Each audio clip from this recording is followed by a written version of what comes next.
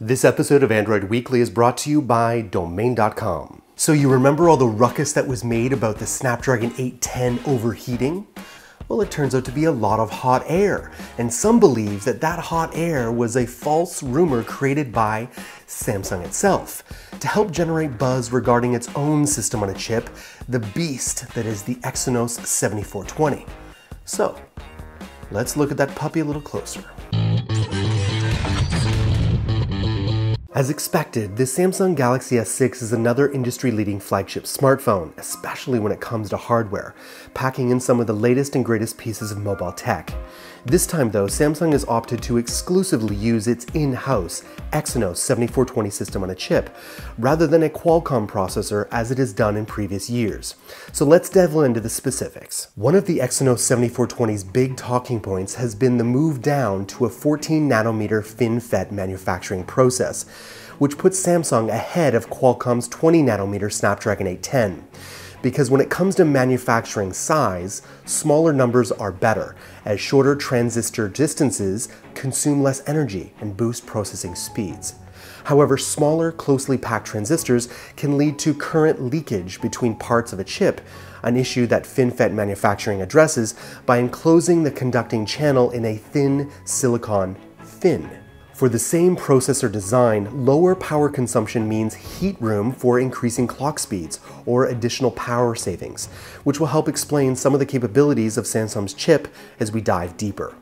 The bulk of Exynos 7420's processing components are rather familiar though. It's built from ARM's reference Cortex A57 and A53 CPU cores. At a quick glance, the design is very familiar to the Galaxy Note Exynos 5433 chip. Thanks to the smaller manufacturing process, Samsung has been able to up its clock speeds to 200 MHz on the GPU side and 72 MHz on the GPU side, working out to a very rough 10% increase over the Exynos 5433. And while this will inevitably lead to some performance gains, the biggest changes have been made to the system on a chip's memory and GPU specifications. But the GPU is where Samsung has implemented the largest performance gains over the Exynos 5 series. As well as the clock speed increase, Samsung has scaled up the number of GPU cores from 6 in the Note 4 to 8 in the S6 and this extra graphics grunt will come in handy when gaming on the Galaxy S6's QHD display. Comparing our own Galaxy S6 benchmark test against the Galaxy Note 4, we see a rather substantial increase when it comes to 3D graphics performance at 2560x1440. Now benchmarks don't indicate real-world performance, but it certainly confirms the areas in which Samsung has managed to make significant improvements. With performance up and consumption down, Samsung's push for a 14 nanometer has clearly paid off, and it's clear why the company chose to drop Qualcomm Snapdragon series this generation.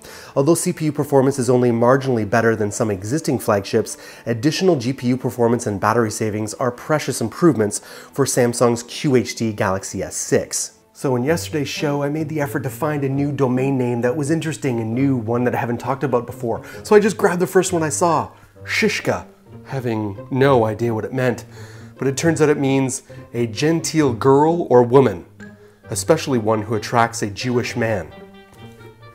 I don't need any Jewish men, thank you, I'm good. Uh, but I do need a good domain name extension. And who knows, there could be a lady out there who wants to be the android.shishka. Just not me. Because it's not just about .com, .net, or .org anymore, you now have the opportunity to name your site or build your brand in ways never before possible. Choose from a growing list of more than 200 domain name extensions like .ninja, .nyc, .expert, or .club, and in this case, .shishka. All available now at domain.com. And the guys at domain.com want to hook our viewers up with a great offer. Save 15% off domain names and web hosting when you use our coupon code Android at domain.com checkout. Don't forget 15% off when you use our coupon code Android. When you think domain names, think domain.com. All right, thanks for watching, all you Android shishkas. Love to connect with you right here on Google Plus or Twitter as usual. And you don't want to forget about these guys, these guys who work so hard to deliver the best content on the web, your source for all things Android.